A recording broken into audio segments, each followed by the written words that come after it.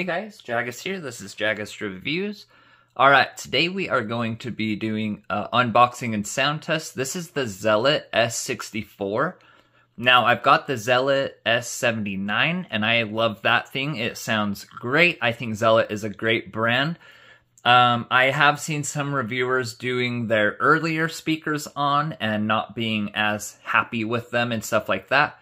It seems like they've kind of got some good ideas of how they want them to sound now and you're not you're getting a lot better processing and different things happening. So it'll be interesting to see how this sounds. So basically, I would say this is somewhere in between the JBL Charge 5 and the JBL Extreme series. Um, it is, it's got four tweeters, two on both sides, and then a downward firing woofer with passives on the side. And we got our TF slot, UDisc playback, so USB-C playback, aux, wireless music, and it says frequency range 20 hertz to 20 kilohertz, so I am not thinking that that's completely accurate. That's kind of what Sony does is just gives you that 20 to 20 on all of the speakers. And then you can connect two of them in TSW. So this is um, around 60 bucks on Amazon. With uh, the coupon that they have going right now, it's all the way down to 47 bucks. So I was like, why not give it a try? See if this is a good little mid-size speaker. But let's go ahead and unbox it.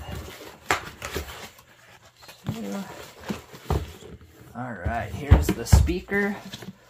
Now, it does come with, okay, comes with a big carrying case to carry it with. Interesting. And that's actually a nice filling case. And we've got our cords, charging cord, aux cord. Looks like registered products, so they do probably have like warranty and everything else like that. Lifetime warranty. Okay, so cool. Valid within 45 days of purchase. Now let's take a look at this thing. Oh, this is cool. So it's actually pretty big. It's just a big egg shape so it's got two passive radiators. I would say those are probably three inch by maybe two inch. And in between, so it's gonna have two tweeters here, another passive there, two more tweeters in this area, I believe. And yeah, passives on the side and then a downward firing uh, woofer. I'm not sure how big it is. I want to say it's around like four inches. And then you've got your power in, your aux cord, TF card slot, USB read. Uh, so I think you can charge out devices with that. And it should be waterproof and all of that kind of stuff. It does have a little, you can hook it up to like a tripod or, you know, like a little pole mount. So it seems pretty cool. See if we got some juice. And we do. So on top, we've got our power our play pause EQ, so it's got different EQ modes, our modes, lights, and that looks like it's to connect party. This is going to be your telling you how much juice your speaker has on top. And then the cool thing is these little passive radiators actually light up, which is pretty cool. So that'd probably be a cool ambiance at night to set. But let's see if it has a little bit of juice in it. Um, let's see how it sounds. Let me hook it up real quick.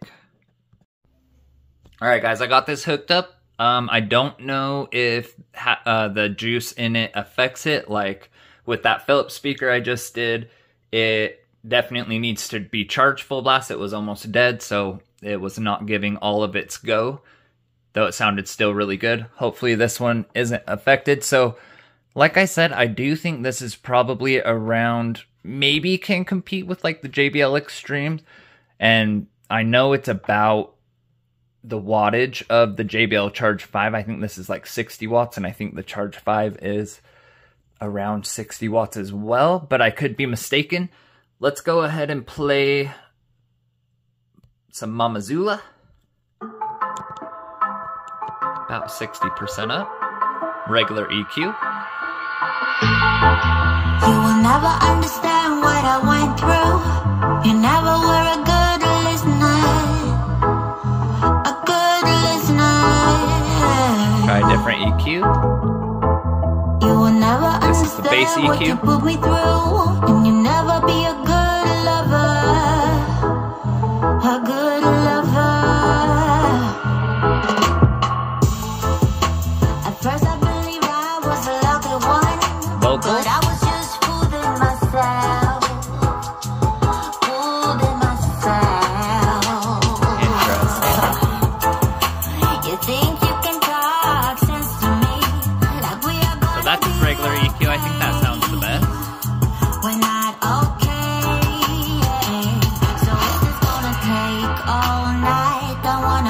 Not time. bad. Yeah, you're damn right. Let's do some speed dial. gave you my-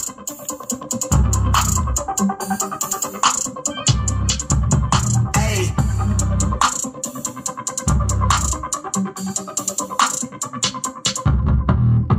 They been on it, drum on the rail. I wrap it, I bag it, I pack it for sale. Got feeling I'm squeezed out, hit me a chill. I give it a thrill, I put it on film. Facade get applaud, that ain't real. Come to my section and flex, we can tell.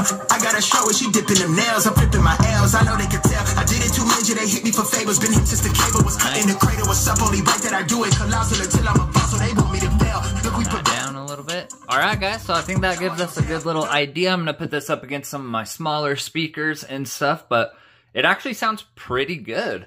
Uh, I'm not getting any distortion from it. It's got a decent amount of bass, depending on what EQ you're using. The vocal EQ is super sparkly and high oriented.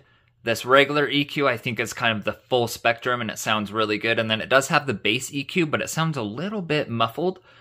Um, let's get it charged up. We'll put it up against a few speakers and see if it holds its own. But for 47 bucks, it's a nice little speaker. It's a good little, it's nice to be able to just carry.